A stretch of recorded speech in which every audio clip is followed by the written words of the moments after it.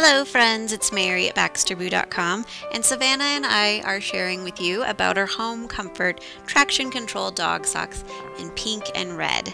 These are cute little socks, but they're not just for looks. They're actually really important to help dogs who are having difficulties getting around on slippery floors.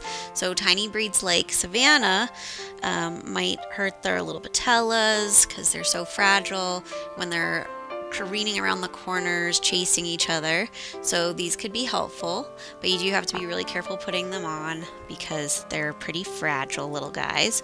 But they do come in small sizes and you can see the little traction hearts on the bottom and those are what keep your pup from slipping. So of course on the larger sizes you're going to get more of those little non-slip hearts and you can see the traction texture really nice they're kind of sticky and we use socks like these for my big lab Cooper at home. He's an elderly Labrador and his hips are failing him, so these really help him get up and down off of our hardwood floors and tile.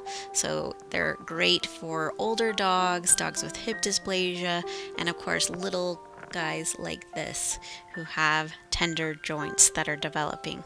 So they're available in a wide range of sizes and colors and they're really cute too. So again, these are home comfort traction control dog socks in pink and red and you'll want to check out all the varieties as well.